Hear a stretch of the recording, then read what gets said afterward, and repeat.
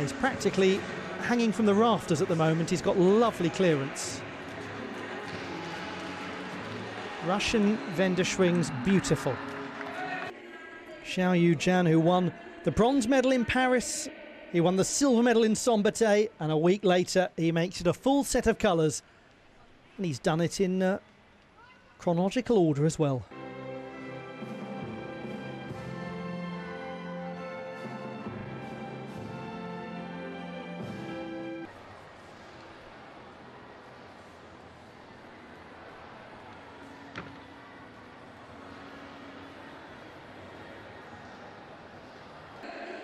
Lai Pinju of Chinese Taipei wins her first ever FIG World Cup medal. Just a fraction. Jonassen, then the Yamawaki. Not as common to do them in that order.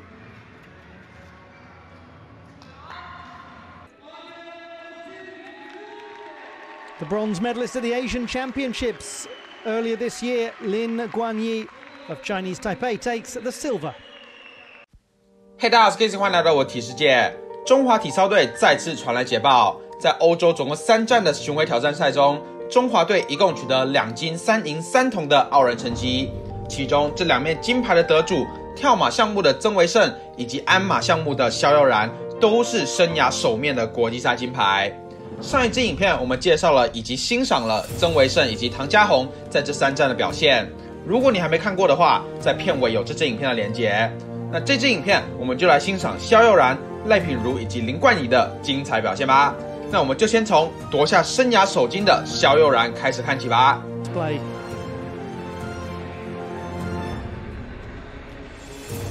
We head now to the top performer in the preliminary round, Xiao Yujian of Chinese Taipei. He's practically hanging from the rafters at the moment. He's got lovely clearance.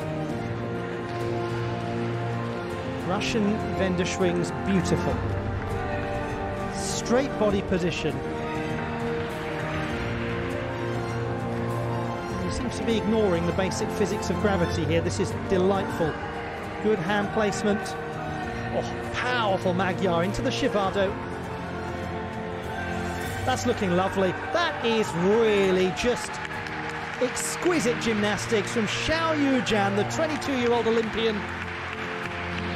Now we've got ourselves a fight for Pommel Horse gold into medal contention.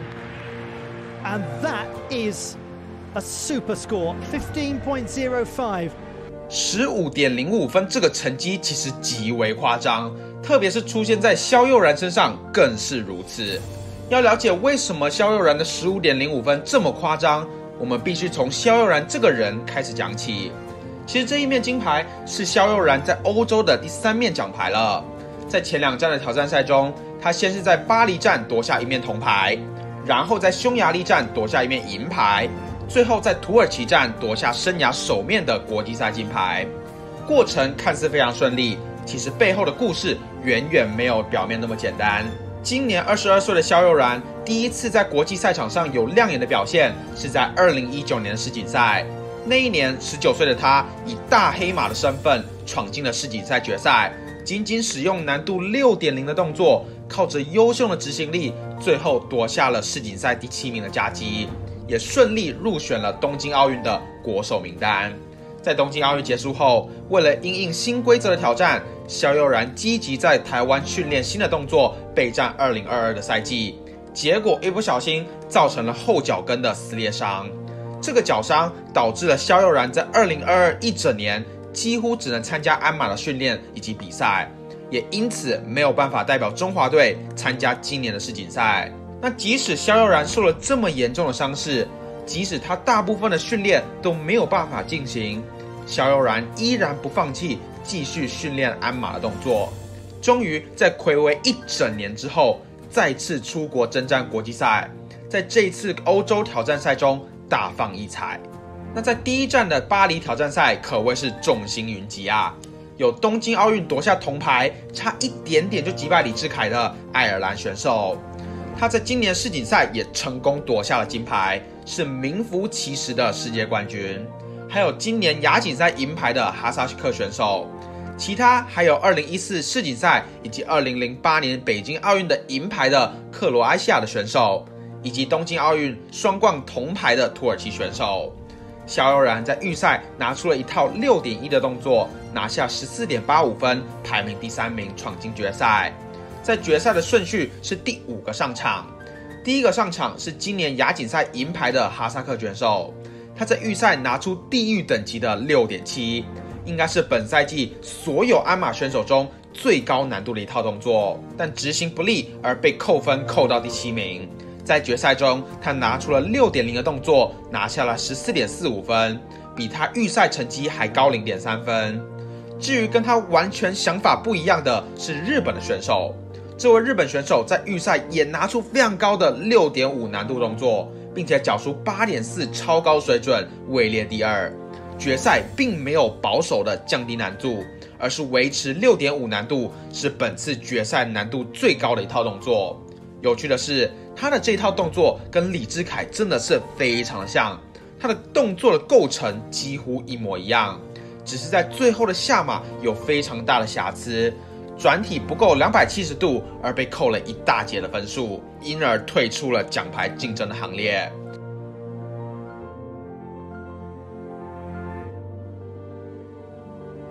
随后，预赛第四的选手可能有一些身体的突发状况，选择了一个难度五点三的动作，草草结束了比赛，也退出了竞争的行列。肖佑然作为第五个上场选手，局势非常的好，剩下的只有预赛第一的金牌候补爱尔兰选手，还有一个是预赛第八的选手，以及一个预赛第六的选手。目前的第一名只有十四点四五分，而肖佑然的预赛成绩是十四点八五。基本上只要不要发挥太失常，要站上颁奖台应该不会太难。所以肖耀然决定降低难度，保执行分，一套五点九的难度比预赛低零点二。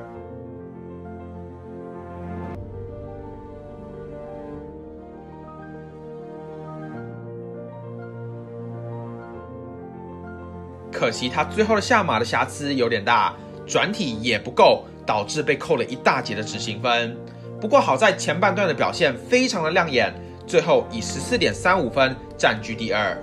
最后预赛第一的爱尔兰选手碾压了众人，以十五点一远远抛离了所有人，夺下了冠军。就算肖悠然没有那个下马的瑕疵，也不可能夺冠。所以这个下马的失误，让肖悠然从一面银牌变成一面铜牌。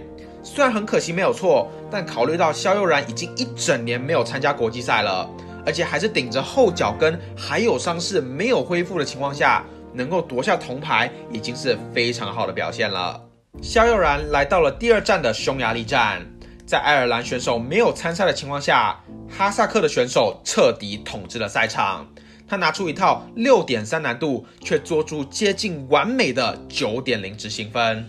总分十五点三分，碾压了所有人，而且还是预赛以及决赛都是十五点三分，实在是太恐怖了。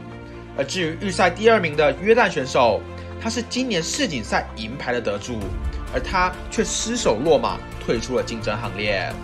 作为最后一个出场的肖若然，金牌十五点三分肯定是不用想的了，但是第二名只有十四点一六六分。相比他预赛的十四点四五分，还有段差距，所以他选择更保守的，拿出一套五点八难度的动作，就轻松夺下了银牌。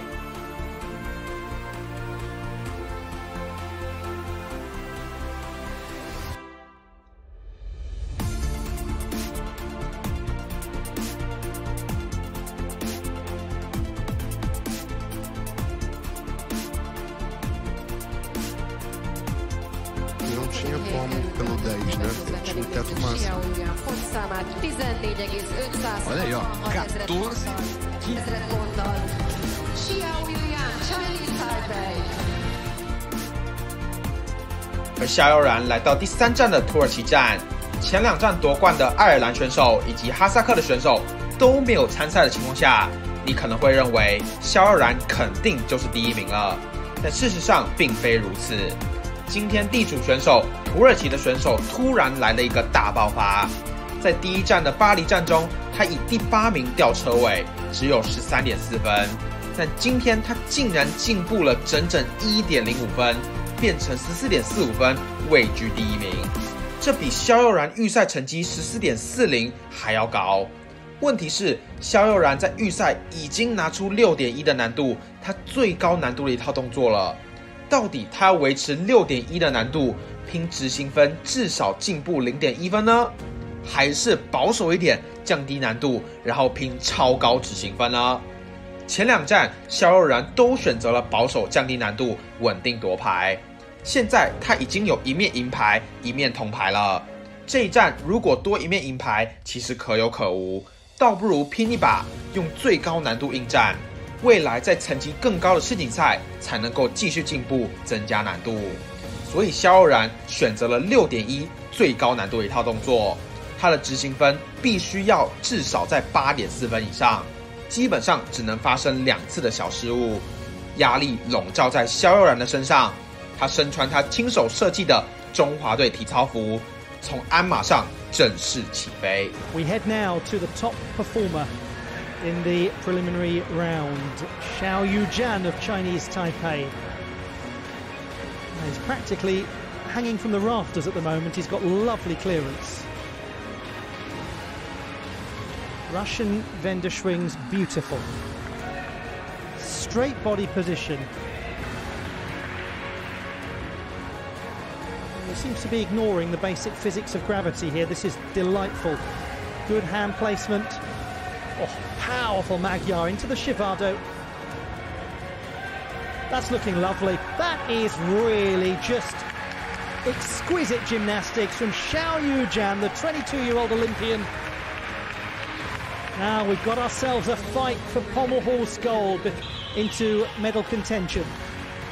And that is a super score, 15.05 from Xiao Yujian，十五点零五分，执行分八点九五分，真的是太不可思议了。是肖悠然生涯第一次踏上了十五分的顶尖领域。基本上，本赛季有超过十五分的选手都在世锦赛有非常不错的表现。最差最差，至少也是世锦赛决赛前八的等级的选手。肖悠然顶着后脚跟撕裂伤的伤势，还能够缴出这么漂亮的成绩。实属奇迹。虽然他因为这个伤势无缘代表台湾出征今年的世锦赛，但目前只有二十二岁的萧然，未来依然有无限的可能。明年的亚锦赛、亚运会以及世锦赛，我非常期待他的表现。接下来，我们来欣赏赖品如的平衡木银牌的表现。Lai Pingju of Chinese Taipei, the third strongest in qualification, the bronze medalist at the Asian Championships some five years ago. She was right at the start of her senior career. She's now 20.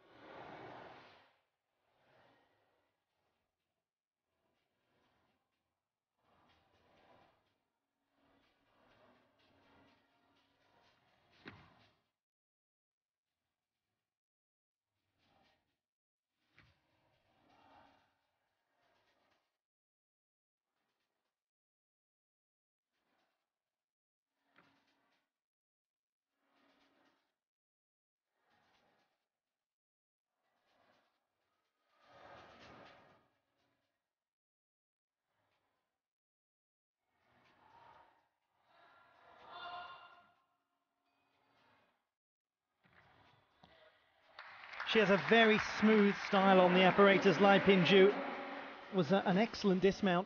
赖品如此前生涯最佳的国际赛成绩是在2017年亚锦赛的平衡木铜牌，也是他生涯唯一一面奖牌。直到今天，在土耳其挑战赛中突破自我，夺下生涯首面的国际赛银牌。在第一站的巴黎站中，赖品如拿出5.1难度的动作，但执行不佳，只排第三十二名。第二站匈牙利站及时回稳，降低了一点难度，来到四点八的难度，总分十二点四，成功打进了决赛。在决赛执行分全场最高的七点九，总分十二点六，大幅的进步。可惜最后得到第四名，与颁奖台擦身而过。但这一次土耳其站的决赛，在难度提升到五点零的情况下，依然缴出高水准的七点九执行分，总分突破到十二点九分。一举夺下了银牌，也是台湾女子竞技体操暌违三年的国际赛奖牌。年仅二十岁的赖品如，未来还有很多的机会，希望她可以继续加油。然后我们再来看林冠仪的吊环银牌的表现。林冠仪 of Chinese Taipei.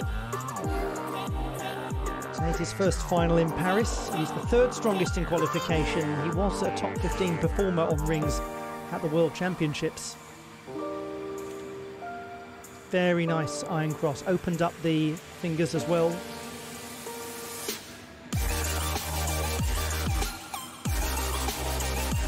Good symmetry and shape in his planche. Less tidy in that handstand. Just a fraction. Jonathan, then the Yamawaki. Not as common to do them in that order.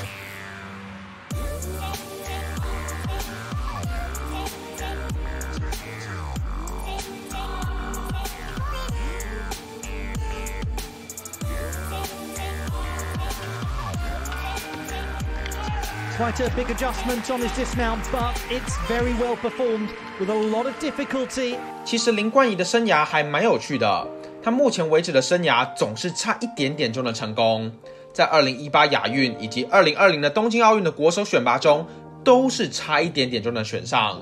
今年2022好不容易能代表中华队参赛了，而且在亚锦赛的吊环夺下一面宝贵的铜牌，是他生涯首面的国际赛奖牌。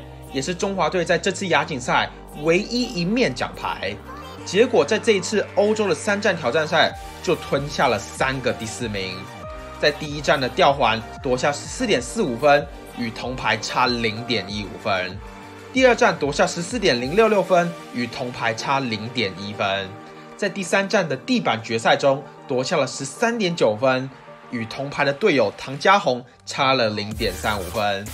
每一次都差一点点就能夺牌，而这一次总算换到他站上颁奖台了，以创下本季最佳的十四点五分夺下了银牌，也是他生涯首面的国际赛银牌。我们恭喜林冠仪，也希望他继续加油。那如果你想看曾维胜以及唐家红在这一次欧洲挑战赛的精彩表现的话，你可以看这支影片。那如果你想看中华韵律体操代表队在这一次亚锦赛创造历史夺下奖牌的话，你可以看这支影片。谢谢大家，今天来到 Kiss Jazz Kiss，我们下次见，Peace out。